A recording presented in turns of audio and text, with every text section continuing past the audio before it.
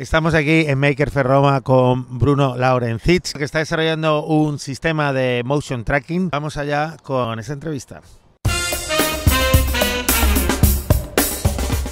Bueno, pues vamos a empezar aprendiendo qué es esto del motion tracking, que a lo mejor hay mucha gente que dice, ¿motion cómo? Así que cuéntanos en qué, cómo se llama tu proyecto y en qué consiste. Entonces, el proyecto se llama Motion Tracking o Motion Capture. Básicamente se basa en o sea, la idea del motion tracking en, general por Dios, estoy hablando en italiano. Aquí cuando llevas varios días ya estamos inmersos toda la feria. Es decir, el motion capture en general lo que quiere hacer es eh, eh, obtener un esqueleto sintetizado del cuerpo humano en un formato digital que después puede ser aplicado a cantidad de cosas. El proyecto yo lo empecé para aplicarlo en ámbito artístico. Yo quería hacer eh, captura en vivo de bailarinas, bailarina en particular de compañera de vida que es bailarina, queríamos hacer una obra juntos. Entonces empecé este, este desarrollo. Básicamente yo lo oriento mucho al uso en performance vivo, pero también se puede usar, por ejemplo, para hacer animación tridimensional, para hacer, para controlar otro tipo de, de, de expresiones artísticas, como por ejemplo la música. Estamos también investigando con gente para hacer música a partir de los movimientos obtenidos de un ser humano. También se puede usar en ámbito más técnico, por ejemplo, en investigación médica, investigación deportiva, donde se necesite tener una información muy clara del cuerpo humano en general. Y esto es un sistema que funciona, entiendo que en tiempo real, porque obviamente para la parte del arte, no sé si también es posible grabar eh, para que no sea eh, tiempo real. Esa creo que es una pregunta interesante, pero también sería interesante saber cuáles son los componentes eh, o cuáles son las partes del sistema.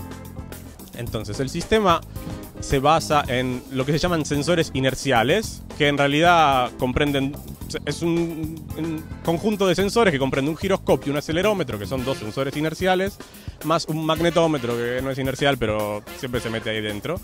Entonces, de estos tres se saca información que sirve para eh, obtener la orientación precisa de, de cada uno de los sensores. Con esa orientación se mete en un modelo tridimensional prehecho y se obtiene digamos, la posición relativa de cada uno de, los, de las articulaciones del cuerpo. ¿Y cuántos sensores hacen falta ahora mismo para capturar así el, el movimiento de una persona bailando, por ejemplo? Ahora, la premisa es que esto es, no es solo un sistema para hacer captura de cuerpo, sino que es un framework que se puede ampliar para hacer cualquier tipo de captura. Yo podría capturar un brazo robótico o un perro una, una gaviota de las que hay por aquí. Lo difícil es meterle los sensores a la gaviota o al perro. Para un ser humano normal se usaban 15 sensores. Y por ejemplo no se pueden capturar los dedos con 15 sensores, pero se pueden capturar las manos, los, pies, la cabeza. Y eso da para capturar el, digamos, los, grandes movimientos que puede hacer una persona eh, mientras se mueve. ¿Los sensores cómo se conectan entre sí? O sea, ¿cómo mandan esta información? ¿Hay un módulo central? ¿Son sensores separados? Entonces, el sistema consiste básicamente en el desarrollo de, un modulito, que es el, yo lo llamo K-Ceptor, es el que se pone donde están los sensores. Esos módulos tienen la capacidad de que pueden ser interconectados entre ellos formando jerarquías arbitrarias. Esos módulos se conectan de momento con un cable, un cable muy, parecido al del teléfono. Usan un protocolo I cuadrado C, I2C, eh, para comunicarse entre ellos y quien lee todos los nodos es un micro, una microcomputadora o single board computer, la Raspberry Pi en este caso, pero también puede ser ampliado para usar otro tipo de, controladores, de, bueno, de computadora. Entiendo que cuando hablamos de Raspberry Pi, esto va conectado al puerto GPIO de la Raspberry, al puerto... De momento el, el hardware que consiste en el sistema es la Raspberry Pi, que es un componente común. Después hay un componente que se llama Hub, que básicamente toma el input físico de la Raspberry y lo redistribuye entre los nodos con cablecito jumper, con lo, que sea. Y después los nodos se, interconectan entre sí con bueno, estos cables de RJ12, los del teléfono. ¿Y esto eh, ahora mismo tiene que ir conectado? ¿Lo podéis alimentar con baterías? Bueno, es un poco creatividad del usuario. el modo canónico de, alimentarlo es una, un power bank de esos de celular que se conecta a la Raspberry y eso da energía para usarlo 8 horas más o menos. Una pregunta que yo creo que a lo mejor la gente se está haciendo ahora mismo, eh, porque el proyecto hasta donde sé es, código, o sea, está abierto para que más gente pueda colaborar, que pueda participar. ¿Cuántos sois ahora mismo? El proyecto lo empecé yo solo hace 3, 4 años, despacito, viendo todo, desarrollando poco a poco cada una de las partes. Ahora mismo está empezando a hacerse conocer y están empezando a llegar eh, colaboradores de todo tipo, que por cierto aprovecho para agradecer muchísimo a todos los que han colaborado aquí, especial a Juancho y a Flavia que están en Barcelona.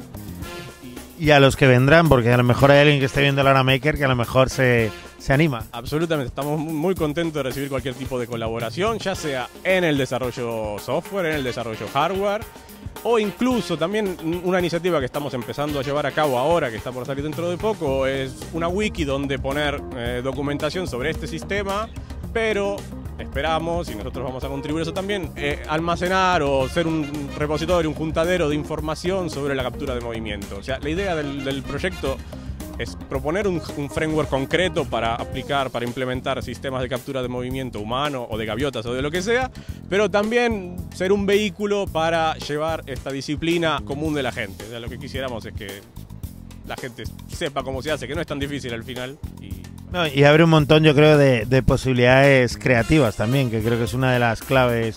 O sea, cuando tienes unos datos, puedes obtenerlos en tiempo real, puedes crear proyecciones, visualizaciones. Eh, ahí hay un montón de. Yo me acuerdo en Media hace unos años trabajando en, en, un proyecto que se llama Mares y Malabares, que hacían algo parecido usando Kinect también, pero claro, tienes. O sea, es otra aproximación distinta, ¿no? Porque la Kinect tienes infrarrojos, montas el esqueleto y al final tienes un modelo, pero tienes que tener en cuenta la luz del sitio, tienes que tener en cuenta las condiciones, los reflejos, que si hay otras no puedes una cosa que nos pasó en el taller, de hecho, que era una puñeta y que no pasaría con tu sistema, es cuando tienes dos, dos Kinect y entonces la, se empiezan a ver puntos que no están, es un poco lío. O cuando hay oclusión de, una, de un bailarín o un performer al otro, o sea, ahí pierdes el de atrás. Claro, así que un sistema físico tiene estas ventajas y para la gente que quiera saber más, ¿dónde puede encontrar información sobre vuestro proyecto?